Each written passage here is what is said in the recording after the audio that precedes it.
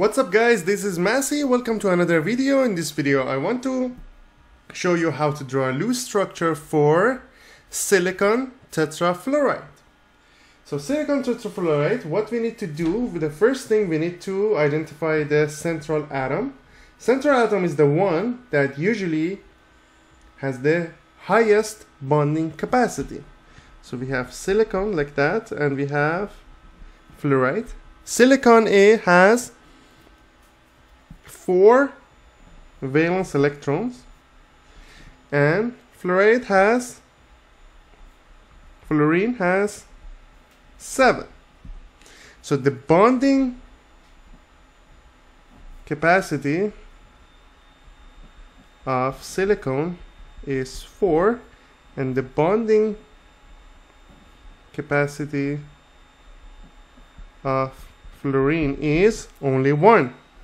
So silicon is the central atom and fluorine is the surrounding atom. So what we need to do, we need to write the symbol from the central atom and then arrange the symbols of the other atoms for the rest of it. So it's going to be S, I, F, F, F, and F.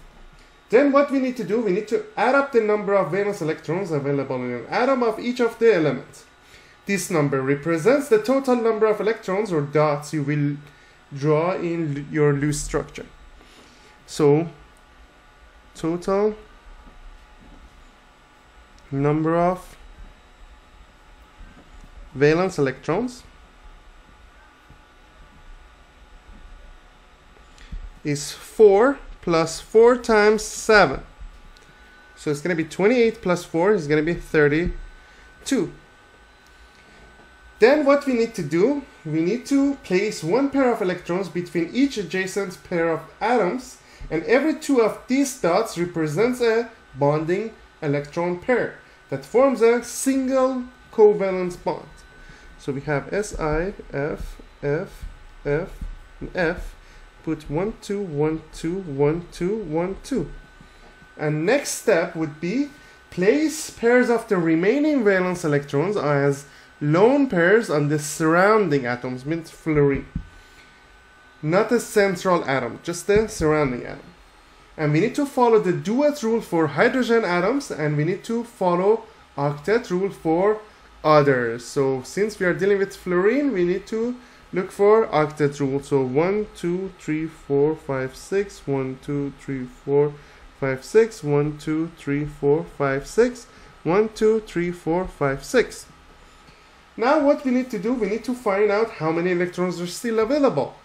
How we do that? Subtracting the number of electrons you have used so far from the total number of valence electrons. So we originally had 32 minus 1, 2, 3, 4, 5, 6, 7, 8, 9, 10, 11, 12, 13, 14, 15, 16. 16 times 2, 32.